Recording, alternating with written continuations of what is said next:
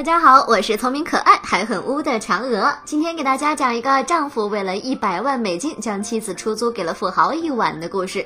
大卫和戴安娜大学时期一见钟情，甚至不顾家人的反对私奔。成婚的他们过着不算富裕，但是也算幸福的日子。大卫在一家建筑公司任职，戴安娜是一个销售。两个人决定买一栋属于自己的房子。很快，他们贷款买下一块地，并且由大卫亲自设计好了房子的样型。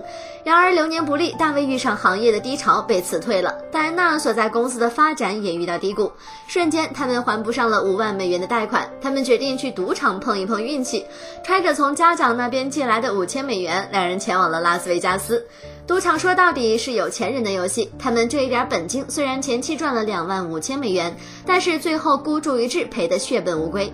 而在这趟赌博之旅中，戴安娜被一个亿万富豪约翰看上了。戴安娜率真的性情和美丽的笑容给约翰留下深刻的印象，但是约翰是一位绅士，他并不准备强取豪夺戴安娜。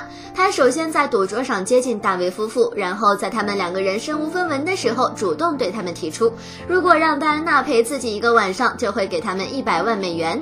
显然，这是一个乍一听侮辱人，细想后非常诱惑的条件。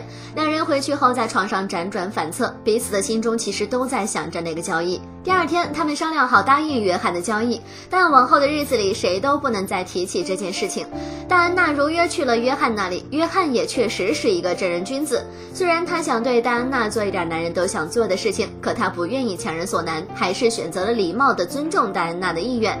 第二天早上，戴安娜毫发无损地回到了家里，而一百万美金也到账了。悲催的是，他们赶到银行偿还贷款时，发现那块地因为逾期已经被银行卖给别人，而买走那块地的正是约翰。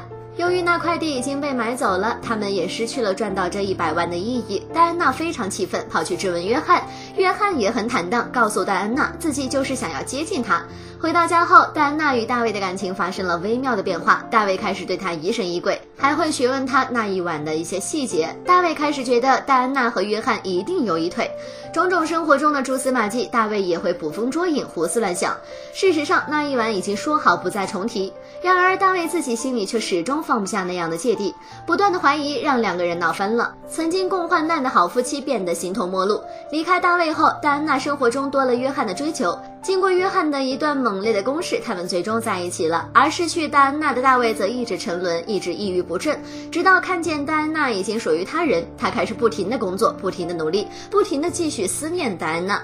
最终，大卫还是鼓起勇气，在一次动物园募捐会上花了一百万，将他和戴安娜共同的记忆——一只河马拍下。这也引起了约翰和戴安娜的注意。约翰大方的给予他们空间私聊。约翰大彻大悟的对戴安娜袒露心迹，虽然自己很爱她。但是还是会同意和她离婚，成全她的幸福。戴安娜的心里何尝不一样爱着大卫呢？听到大卫这一番感人肺腑的自白，两个人还是复合了。而约翰也心知肚明，自始至终他还是没能得到戴安娜的心，他选择成全这一对小夫妻。好了，这期的嫦娥聊电影到这里就结束了。喜欢嫦娥的记得点下关注哦。